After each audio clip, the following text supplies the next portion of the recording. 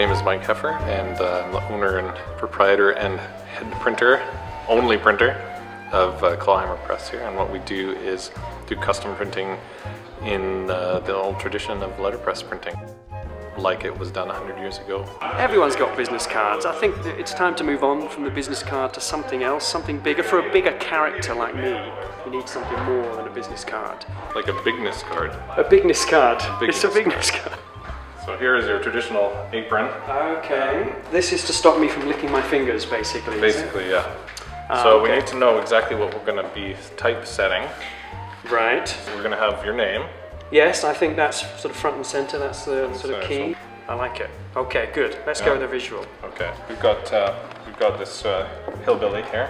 A hillbilly, yeah. Billy. I can relate to that. We've got this uh, fellow with a funny golf hat of some This guy looks Scottish. You realise I'm English, right? I might have to fling this across the room.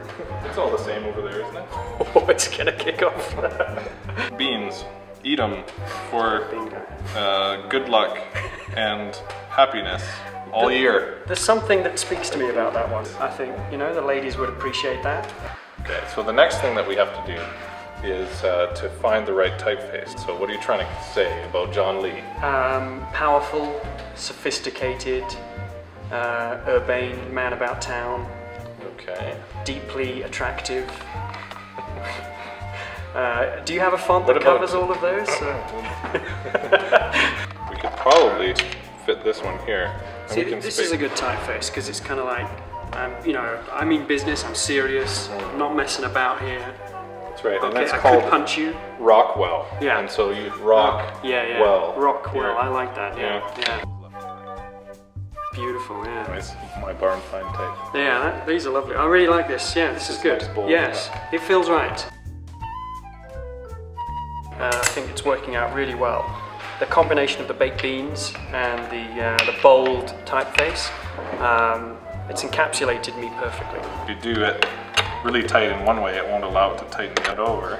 And I'm just gonna check and make sure that there's no bits sort of on. We've decided to go with this uh, brown kraft paper, which uh, has sort of a, a retro cool look. What color of ink embodies yourself? Broccoli green. Broccoli green on the surface here.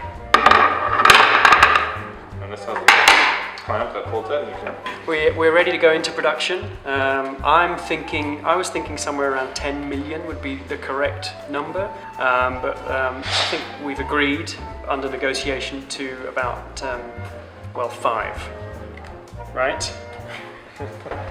yeah, okay, so we're going to get some speed going now. We're going to get some intensity of speed. you watch the Try not to lose my hand in the process. Lovely, lovely. Coating. Slide it good. straight And then you would keep them all here, the ones that you've done. Yeah.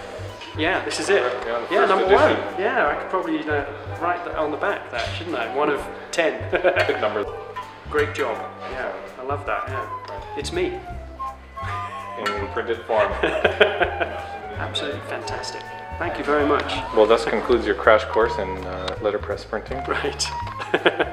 yeah, if you ever want some time off, Call sure. me in Cancun. Yeah, if you right. Have any questions? Absolutely. Yeah, yeah. These are great. Awesome. Thank you very Nice much. work. Cheers.